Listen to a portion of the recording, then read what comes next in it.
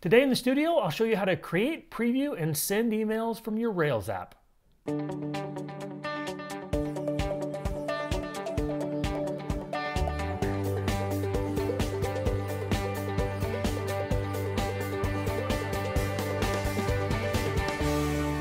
Hey folks, Mike Clark here with the Pragmatic Studio. I recently updated a Rails app and was reminded of some of the nifty new features in Action Mailer. So today, I'll walk you step by step through my workflow for sending emails from a Rails app. Let's jump right into it. Our application lets users list items for sale. We have a number of items here. I'm just going to click on the unicycle. And then users can also leave comments about a specific item. So we've got three comments about the unicycle here. Now, when a comment is posted, we want to send an email notification to the user who listed that item for sale. So let's just take it step by step. First, we need to do a wee bit of configuration. So let's just get that out of the way. We're going to be sending emails from the development environment. So I'm in the config environment development.rb file where we can configure our development environment. I'll show you how to set this up for production a bit later. So the first thing I like to do inside of here is change this line here about raise delivery errors. It's by default set to false. I like to set that to true. By default, Rails will silently ignore any errors related to sending email, which isn't very helpful. Setting this to true will raise an exception if there's trouble sending email. Next, we need to arrange things so that our emails are delivered out into the world by an SMTP server. We'll use Gmail since most folks already have a Google account. And I'm just going to paste some configuration in at the bottom of this file inside of this block here, give a little bit of space, and I've already got this prepared. I'm just going to paste it in and we'll walk through it. Now don't sweat the details here. Here are the important parts. First, we set up the delivery method to be SMTP. That's the protocol for sending email. Then we have some SMTP settings inside of a hash here. We've got the address, that's going to be the SMTP server we're using, in this case it's Gmail, and also the port, in this case 587, which is a pretty standard port. Then you set your domain, in this case I'm just going to leave it at example.com. You're going to change this to whatever your domain name is. Most of the time you're going to use plain authentication. Don't worry too much about this, it's a pretty standard setting. And then we have our username and our password so we can authenticate with our SMTP server. Now it's a best practice to access credentials such as username and password via environment variables, as we've done here. To get a hold of environment variables in Ruby, we use this env constant, and then we give it the key for the environment variable that we're interested in. In this case, I've got an environment variable called gmail underscore username, and this will access that environment variable and return the actual value. Otherwise, if you hard code your secret credentials in this file, then they're no longer a secret. Anyone who has access to your code, for example on a public GitHub repo, can plainly see your username and password. Environment variables also work great for video training. The takeaway here is you never want to expose sensitive information in your source code. Finally, down here at the bottom, we need to set this host option, which is used to properly generate absolute URLs within our email. And in development mode, I've just set this to localhost colon 3000. So that's the address that's going to be in the URLs that show up inside of our emails. After saving this file away, we must restart the Rails server for these changes to get picked up. The next step is we need to create a new mailer to render and send the email. Now Rails includes a generator to make it easy to create new mailers. Over here on a terminal, I'll just use Rails G, and then I'll just type in mailer and see what options we get. We scroll back up to the top of that. The mailer takes the name of the mailer. This is going to be a class that it generates, and it also takes an optional list of what it calls methods here. These are actually the names of the emails, and the names of the emails will correspond to method names. Okay, so we can generate our mailer, Rails G mailer. The name of our mailer is going to be called comment mailer because it's related to sending mails about comments. And then the name of the email is going to just be called new underscore comment. If you had other emails, you would just continue to list the names of those emails here, but we just have one email. So I'm using new comment. And you can organize and structure these however you want. Then we just hit return and it generates all the files we need, which we'll look at in turn, starting with the files it generated in this app slash mailers directory. Back over in our editor, I'll go into app mailers and we see that it generated two files, applicationmailer.rb and commentmailer.rb. This application mailer is the base class that all other mailers are going to inherit from. We notice that it inherits from action mailer colon colon base. And then the first thing it does is it calls this default method and passes in some options. Any of these options will be applied to all of our emails by default because it's defined up here in this base class. The from option is the email address you want to use as the sender of the email. It's the address it's being sent from. So for example, you might change this to something like support at example.com or whatever your domain is. Then on the second line, it sets up this layout. We'll return back to this a little bit later. It also generated this comment mailer. Notice that the comment mailer inherits from the application ma mailer, which we were just in. Now these mailer classes work similarly to Rails controllers. They inherit from a common base class, in this case application mailer. They also have methods inside of them. Notice that this method corresponds to the name that we gave at the command line, new comment. And those methods are similar to controller actions. But instead of generating an HTML response, mailer methods generate an email. So this new comment method is going to generate the email we want. We also see that this stubbed out method includes this at greeting instance variable, and instance variables defined inside of mailer methods are accessible in view templates, just like you would expect with a controller action. And the last line of these mailer methods must call this mail method to actually create a mail message and return it. Now you notice we can also pass in options to this method. In this case, we have the option to. This is the person we want to send the email to. And to create that email, the mail method is going to render some email templates. Now the generator went ahead and created two email templates for us to render that mail message. And those templates are over in app views. The name of our mailer is comment mailer, so there's a directory there. And then we have two templates. Notice that the name of the file includes the name of the email. It's new underscore comment, and then we have new underscore comment.html.erb. That generates an HTML email, and new comment.text.erb. That generates a plain text email. If we look in the HTML template, well, we see it looks just like any other view template. We've got some static text, and then we can generate dynamic text using ERB, for example, here, they're outputting the value of the at greeting instance variable. Because that instance variable is defined in the new comment method, we have access to it here. And the plain text template does pretty much the same thing, it just outputs the email in plain text, uses the instance variable again. It's a good practice to send both plain text and HTML emails and let the email client decide which one to display, and Action Mailer does all that heavy lifting for us. Because we have two view templates here with the same name but different content types embedded in their file names, both templates will get rendered and sent out in one multi-part email. Since we're already here in the plain text template, let's go ahead and change it so that it generates an email content we want. I generally like to start by defining what the email will look like and then we'll backfill and set everything up. So I'll just delete what's in here now. And we want the email content to be a new comment was posted for your, and we want to insert the item name right here. To do that, we're going to need an instance variable that references that item. I'll create that in just a second, but I'll just go ahead and set it up now. We'll have an at item instance variable, and then we can access its accessor name to get its name. And then we'll put the actual comment body down here, so we'll use ERB again. And we're gonna need the comment that got created to do that, and we'll set that up in an instance variable called comment, and then we'll reference its body.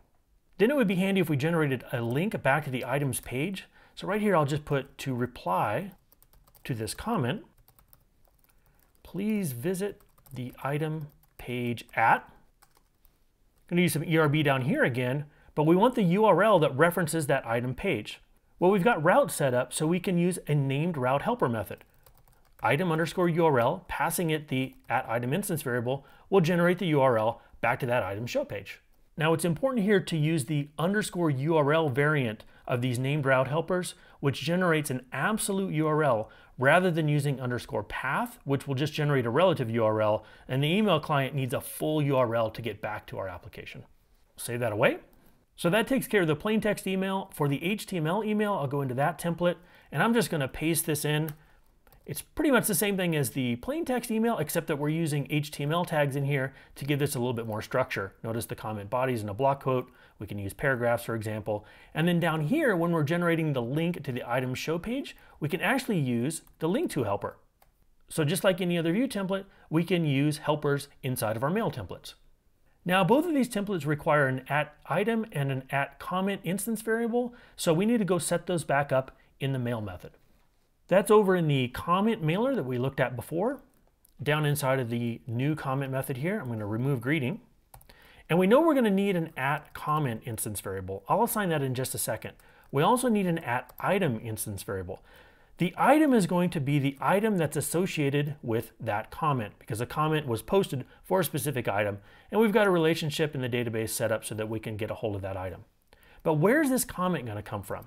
Well, unlike a controller action, a mailer method doesn't have access to request parameters. So we, are not going to get it from the URL. Instead, we're just going to pass it into this method. This is going to be a argument to that method comment, and then we'll assign it that way. Next, we need to fix up this to option. Who do we want to send the email to? Well, we want to send it to the person who listed this item for sale. And to do that, we take our item, we can get the user, there's a relationship in the database between an item and a user, and get that user's email. We also want to set up a subject for this email. Now you notice the comments up above, if you want to support multiple languages, you can put the subject inside of an internationalization file. For right now, I'm just going to set the subject directly. Down here, we just give it the subject option, and we're going to say new comment for, I'm just going to stick this on another line so we've got enough space. New comment for, I'm going to interpolate the item's name. The mail method takes a number of other options and I'll link to the documentation for that in the notes. We don't need to specify who the email is coming from when calling this mail method here because remember, back up in our base class application mailer, we have this default and it's setting up the default from option that'll be applied to all of the mailers that we have set up here. So we set it up in one spot, all the emails are gonna come from that sender. Our mailer and our templates are good to go, but before actually sending the email, I like to preview those plain text and HTML templates just to make sure they look right. Now in the old days, you know, like a couple years ago, you would install a gem to actually preview the emails, but nowadays it's all built into Rails. So let's give that a try. When we ran the generator, the preview file was generated down in this test directory under the mailers directory, and it generated a stub test file for us, but if you go up above and you open up this previews subdirectory, you'll notice that it generated this file commentmailerpreview.rb. And inside of here, we have a class whose sole responsibility is just to let us preview this email. It has a method called new underscore comment, but that's not the same as the new underscore comment method that we have up in our mailer. This is basically just a wrapper around calling commentmailer.newComment, where our actual mailer method lives. There's something a little bit unintuitive about this though. Notice it's using the class commentMailer and it's calling the method on that class. So it's calling new comment as if it's a class method. But if you look back up on our mailer, we actually define this method, new comment, as an instance method. Now don't let this throw you. Rails uses a sleight of hand here. What it actually does is it instantiates a new instance of this class, and then it calls the instance method new comment on there. Now the way we have this set up, we need to pass a comment into this new comment method. So we need a comment there. So how are we going to do that? Well, interestingly to note, is that although these preview files live under the test directory by default, when you preview an email, it's actually running inside of the development environment. So we can grab a comment from our development database. I'm just going to grab the last comment. Then we pass it into this method and it's going to return a new mail message. So how do we preview the email? Well, Rails actually exposes the previews as URLs. If we go up to the top of the file here, it says preview all emails at, and I'll just copy this address. Back over in the browser, I pasted in that address and we see that we have our comment mailer and then we have a link to the new comment email. If you have other emails inside of that class, you'll just see a list of links. We'll go ahead and click on this. And you notice it's showing us our HTML email, which looks pretty good. A new comment was posted for your unicycle, which is a link. We've got the comment body right there. And then we've got the item page link so a person could get back to that item page. We can also go look at the plain text email up here. That looks pretty good too. It just has the URL as plain text and we got the plain text version. So that's pretty nifty. And you know, now that I see these, I realize it would be really nice to add a standard signature to the bottom of all the emails. You know, maybe your standard company signature. Now, one way to do that would be to add the text to the bottom of our actual mail templates. There's our HTML template. We could add the signature right down here, or our plain text template, we'd have to add it down there. But then if we came up with new mail methods, we'd have to remember to add the signature to those templates as well. So there's a better way. Just like controller views can have layouts, mailer views can also have layouts. And if we look back up in our application mailer base class here, we come back to this line layout mailer. And since it's defined in this base class, it's going to apply to all the mailers or subclasses, although you can override it on a per email basis if you like. The layouts live down in the app views layouts, There's the rest of the layouts for our application, but we also have two new layouts. We have mailer.html.erb and also mailer.text.erb. Those correspond to our HTML or our plain text emails. So in the plain text version here, we see that it's calling yield. Just as with controller views, calling yield is going to render the view, in this case it's going to be the mail content, inside of this layout. But then we can do anything before or after this, or basically around that yield. So this is great. It means we can set up our signature. I'm going to keep my signature really simple. It's just going to be thanks. And in the HTML version, I'll just go down inside of the body, but after the yield, and use a paragraph, just like that. Now if we save both those away, go back and reload our previews, it defaults to the HTML email. You see we have the signature there. If we look at the plain text version, well, we've got our thanks signature down there as well. So now any emails we generate will have a consistent signature. I really love the fact that we can now preview emails using the same rapid feedback loop as any other view template in Rails. Everything looks good, so now we're ready to actually send an email out into the world. Now just to make sure that everything is configured properly, I like to hop into a Rails console and just fire off one email from there. And to do that, we're just going to use the same two lines of code that we used in the preview file. First, we're going to get a comment from our development database. It's going to be the last comment. And then we're going to use our comment mailer, and we're going to call that new comment method and pass in the comment. Again, this feels odd that we're calling it as a class method when we know it's defined as an instance method, but just go with it. And remember that that new comment method calls the mail method at the end, which creates a new mail object and returns it from that method. So I'm actually going to assign that returned object to a variable. I'll just call it mail over here. Hit return. And you notice we get back this mail message object. So the new comment method created this object and returned it but it doesn't actually send the message at this time. If we look inside of this object, we've got this content type multi-part alternative. This tells the email client that the email contains multiple alternative representations of the same email body, and then the client can choose to display whichever format it prefers. Now, ActionMailer knew to include two parts because we have two email templates. Remember, we've got a plain text template and an HTML template, and we can see up here that it actually rendered both of those to generate this one multi-part email. That's a really good example of the power of conventions. So now that we have the mail object, we can actually deliver that mail. We'll take the mail object and we just do that by calling deliver underscore now.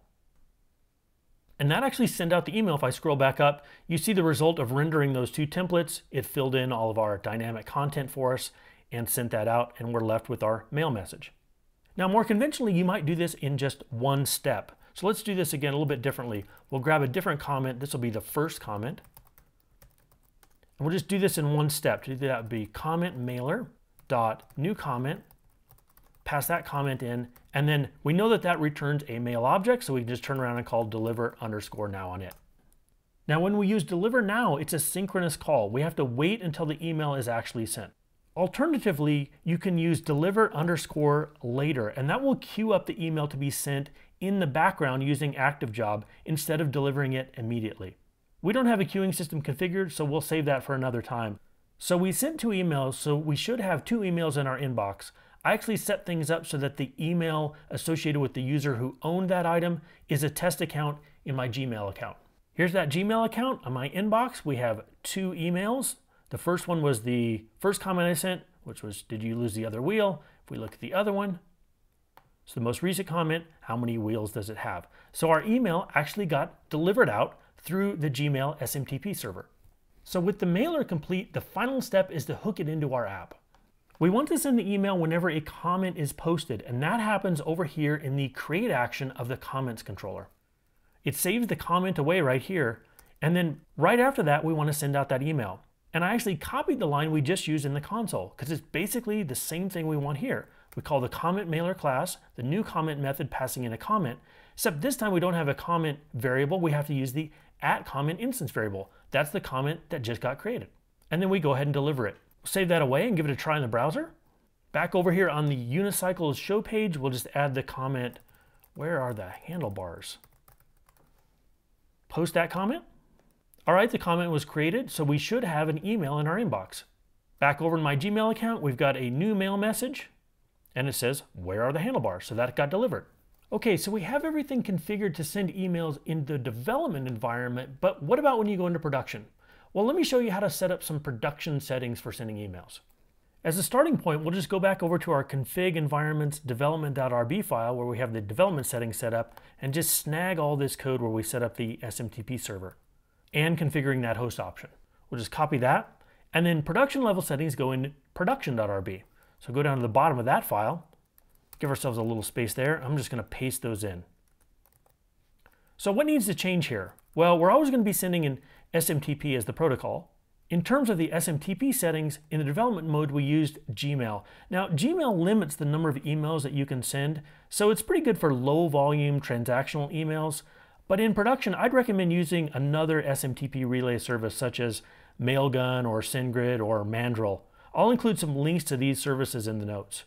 They can handle larger volumes, they keep your emails from being filtered as spam, and can also just track the email deliveries.